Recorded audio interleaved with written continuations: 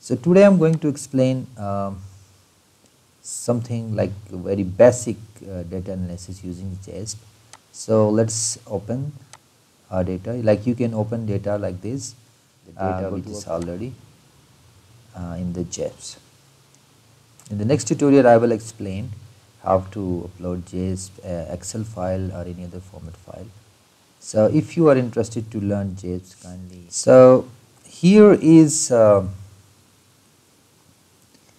the JS file and this is basically the data and I have uh, data which has gender, sleep, satisfaction, it's a scale variable, mood score and uh, median split for mood score. Three variables I have. Let's say I'm gonna um, test the descriptive results. So for the descriptives, let's say for the mood satisfaction, gender, to split I want all the variables. And here are the options. In statistics uh, you can check um, mode, median, mean, skewness, kurtosis, Shapiro-Wilk test, you know it's used for the normality test. And then uh, coefficient of variation you can calculate, variance, standard error of mean, and I want to show you that uh, in the plots you can get um, distribution plots. You can get uh, display density bar if you want display density bar. And correlation plots you can get interval plots QQ plots pie chart dot up to so on. And in the tables uh, customizable tables you have. There you can get you know box elements Valen elements up to so on. But for the frequency analysis if you want the frequency table then you can get the frequency table here.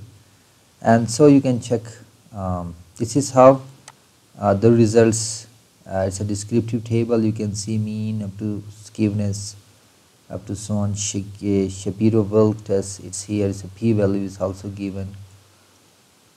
And this is how you get the results. And here is the QQ plot. And it's it's roaming like you know analysis for every variable you can see.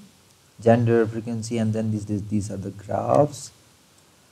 But one thing is very important the graphs uh, visualization in JASP is not uh, uh, like uh, not that much attractive anyhow uh, so here you can see this is the output file and this is the results. So now I'm gonna uh, show you how to run ANOVA test. Let's say t-test so here all the tests independence paired sample let's check with this one. Is a data issue problem uh, yes so for the median um, I, I, I, I took the median split for mode as a grouping variable and dependent variable. So here is the independent sample t-test results. Let's say ANOVA. It's a repeated measure ANOVA. You can use ANCOVA, MANCOVA, up to so on. Let's say ANCOVA. You know, in ANCOVA there should be a dependent variable is let's say sleep satisfaction, fixed factor, gender and median. Again there is issue with the gender so that's why the output is not shown. So it's giving time. So this is the ANCOVA result you know better have to